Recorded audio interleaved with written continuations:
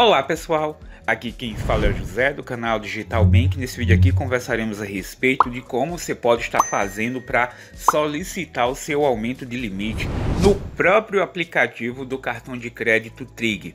Por que, que eu estou fazendo esse vídeo? Bom pessoal, é simples, é porque muitas pessoas estão conseguindo aumento de limite no cartão de crédito Trig pedindo dessa forma. Ou seja, em vez de você ficar aí reclamando e esperando um belo dia o cartão de crédito Trig te dá aumento de limite.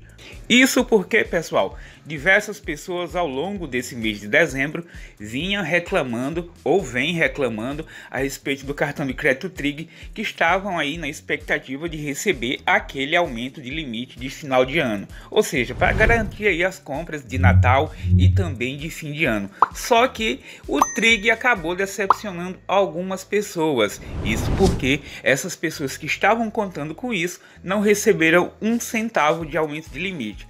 Porém, pessoal, conversando com algumas pessoas aqui do canal, eu notei o seguinte, que elas comentam que ao solicitar não demorou muito a aprovação do aumento de limite. Então, pensando nisso, resolvi fazer esse vídeo aqui para ajudar vocês. E não tem muito o que explicar, basta apenas você seguir esse passo a passo que está aqui na tela desse vídeo que você vai conseguir fazer a sua solicitação de aumento de limite.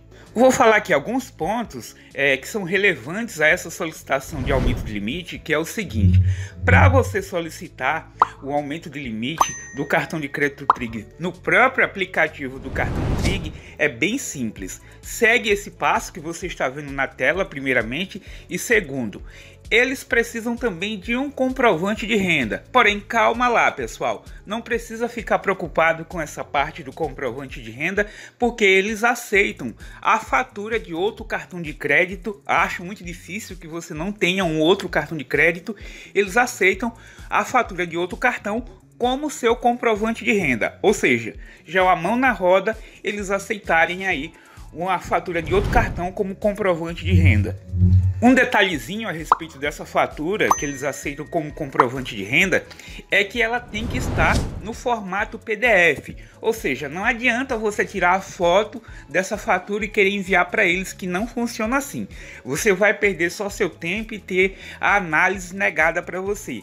Eles exigem que essa fatura que você vai enviar pelo aplicativo esteja no formato PDF. Ou seja, entra no aplicativo do outro banco, do outro cartão que você tem, ou vai no e-mail que você tem e verifica se está disponível a última fatura para você no formato PDF. Faz o download e envia para eles.